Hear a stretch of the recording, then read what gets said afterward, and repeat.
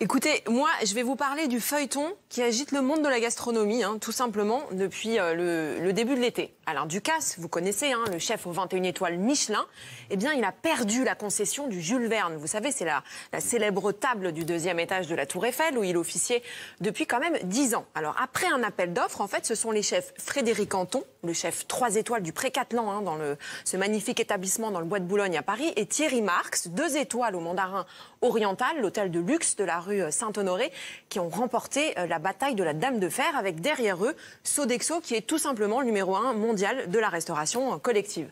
C'est une concession juteuse parce qu'en fait, elle comprend le 58 Tour Eiffel, c'est la brasserie du premier étage, les buffets de restauration rapide, et puis le Jules Verne, c'est donc le célébrissime gastro de la Tour Eiffel qui a été créé en 83 avec sa vue imprenable sur la capitale euh, et ses lumières. Alors, L'enjeu financier, inutile de vous le préciser évidemment, est de taille. L'ensemble a rapporté plus de 40 millions d'euros l'année dernière. C'est l'un des plus rentables de Paris tout simplement. Mais finalement, c'est bien plus que cela, parce qu'il faut bien se rendre compte de ce que représente le Jules Verne. C'est un des établissements les plus courus de la capitale. Bah, c'était le dîner Macron. Absolument. C'est par exemple là où le couple Macron a reçu euh, Melania et Donald Trump l'année dernière. C'est également un lieu de fréquentation hein, des, des, stars internationales comme Sylvester Stallone ou Maria Carré, rien que ça. Avant sa fermeture début septembre, il fallait compter deux à trois mois d'attente et puis un minimum de 200 euros par tête pour espérer déguster à 125 mètres d'altitude foie gras de canard confit ou encore homard au four. Donc une cuisine 100% Non, pas de foie française. gras, ne faisons pas de mal aux animaux.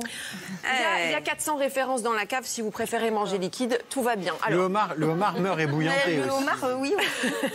bon, On mange les salade. fleurs. Sinon, il y a des carottes ou pas. Jules Verne Les carottes à l'eau, ouais. carottes râpées. Alors, donc voilà, le Jules Verne, en fait, ça représente une, une vitrine extrêmement prestigieuse pour ses chefs. Et pour Alain Ducasse, c'est tout, tout simplement le fleuron de son empire, avec euh, à côté le Plaza Athénée à Paris ou le Louis XV euh, à Monaco. Alors, lorsque la décision de la mairie de Paris tombe début juillet, bah, inutile de dire que la décision a un goût euh, amer hein, pour le chef monégasque. Il a saisi la justice, il a été débouté, il a annoncé d'ores et déjà qu'il allait se pouvoir, pourvoir en cassation.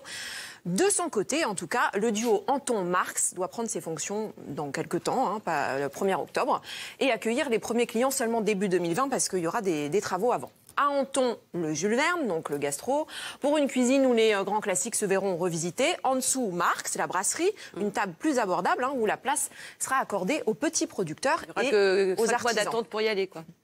à peu près. Alors voilà, pour autant, Ducasse n'a pas dit son dernier mot, on le connaît. Il perd la Tour Eiffel. Eh bien, qu'à il s'installe en face avec Ducasse sur scène, le premier bateau 100% électrique, amarré donc rive droite, inauguré il y a tout juste quelques jours. Comme à son habitude, le chef n'a pas fait les choses à moitié pour son restaurant sur l'eau, comme il aime à l'appeler. 40 mètres de long, 4 salons décorés par un couturier et un designer, 120 places assises, un équipage de 36 euh, cuisiniers et pâtissiers avec une promesse très simple. Euh, c'est une cuisine préparée à bord, 100% électrique et tout à fait identique à celle d'un restaurant euh, gastronomique. Quand vous dites électrique, cuisine 100% électrique, c'est quoi, 100% c'est quoi une cuisine 100% électrique venir dîner. Oui, c'est derrière les plaques. euh, Exactement. Et sur un buffet pour être heureux. Voilà. Non Euh, c'est- voilà, ce serait- Voilà. si, c'est- La- c'est- la- c'est la- pas la le règle. bonheur,